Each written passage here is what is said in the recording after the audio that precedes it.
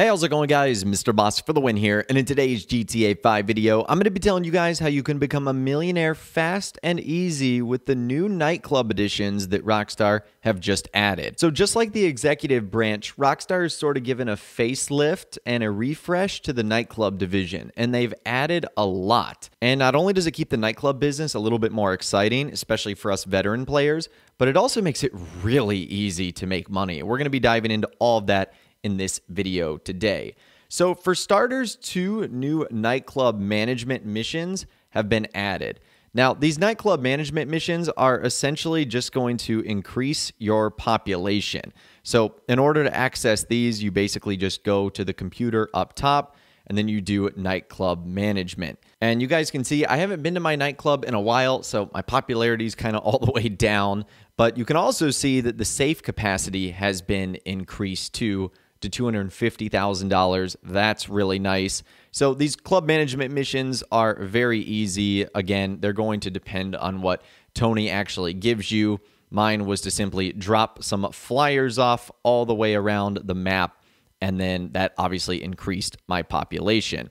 So that is pretty much same old, same old, but there are two new of them, so that does get you kind of spiced up a little bit. There's also two additional new nightclub managements that will occasionally trigger inside of your nightclub. So essentially, what you'll be doing here is you'll be dealing with paparazzi infestations, bouncing troublemakers from behind the velvet rope, chaperoning intoxicated VIPs. The one that I ended up getting, I had this guy was at the front of the bar and I got this text from my bouncer, Marcel, who was like, Hey, boss, we got a customer kicking up a fuss over his tab. He's causing a scene with the staff on the lower bar. I suggest we cut our losses and show him the door. I'll be there in a second.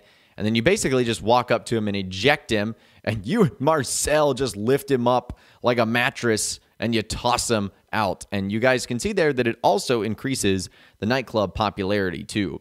So doing that is so easy. Honestly, that is even better than the nightclub popularity missions that you have to access at your computer. So the more of those you get, the better. I don't know how often they spawn in, but they will definitely happen often. Uh, it didn't take me long until I actually ended up getting mine. Now, another nice quality of life feature that nightclub owners have is you're going to have Yohan as a phone contact, and you can actually call him to launch new nightclub goods missions to acquire goods for the basement, and you can check the stock level and value.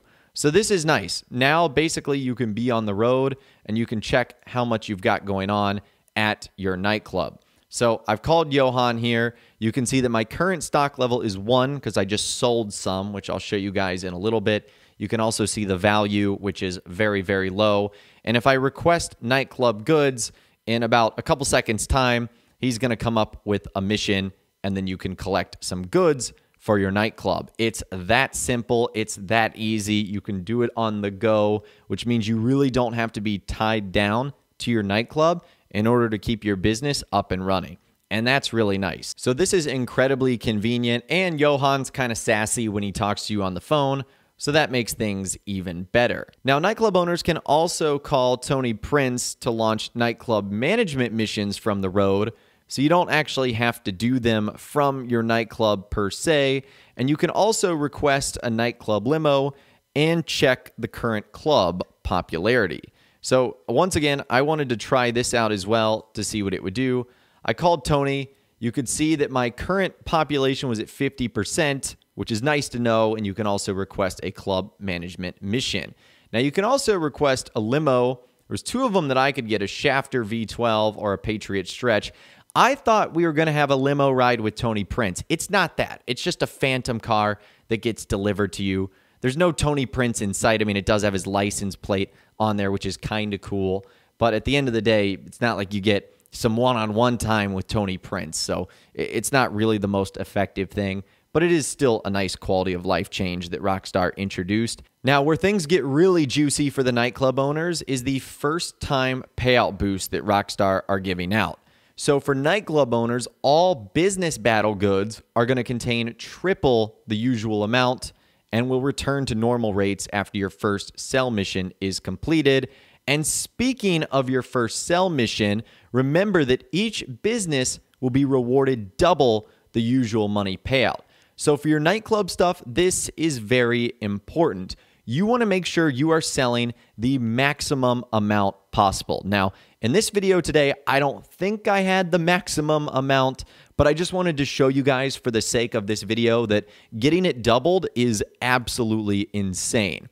So for this instance, I had a, a, decent amount of goods. So I said, all right, we're going to go do this. Me and my friend Samuel hopped in the MTL Pounder Custom, which is, by the way, the worst vehicle of all time. This thing is so slow. Now, oh, I'm probably a terrible driver too. I'm not putting all the responsibility here on the truck, but this thing is a hunk of crap. It's absolutely terrible. Thank goodness I had my friend Samuel here. I got this thing stuck like 17 times. It was probably the most frustrating thing ever. But it, relatively speaking, it's an easy sell mission because you get to do it in an invite only session. And when this thing was all said and done, remember that I only had $1,877,500 worth of goods.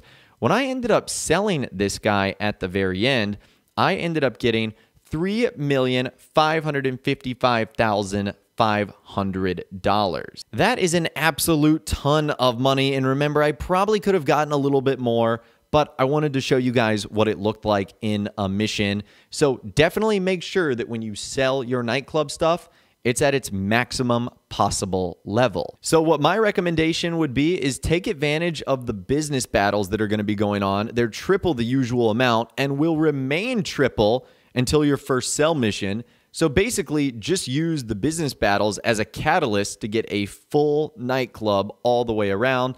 Then do your first sell mission, which is going to be doubled, and you're going to make serious bank. Now, you can do it in an invite only session or you can do it in a public session, whereas we've talked about in previous videos, the high demand bonus for completing sell missions in a public session that have rivals have been increased so you can make even more money. And don't forget your associates too. They are going to get more money just for being around you, and they're also going to get an increased payout for taking part in the sell missions. So here's what my recommendation would be. If you've got friends that aren't far along enough to get started on this, just bring them along. They're going to get a lot of money just for being your bodyguard or associate in this. And they're going to be getting money for the sell mission too, which is really going to help them out along the way.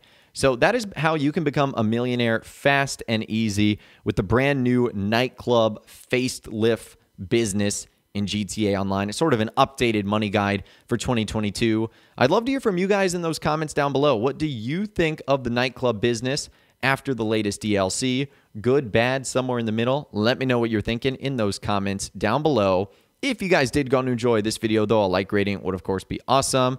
And be sure to subscribe to my YouTube channel if you are new. You want to stay up to date on all the latest GTA and all the Rockstar Games videos that I'll be doing here on my channel. And be sure to ring that notification bell as well. Sometimes YouTube just doesn't work, and if you ring that bell, you'll always be guaranteed to be notified when new videos arrive.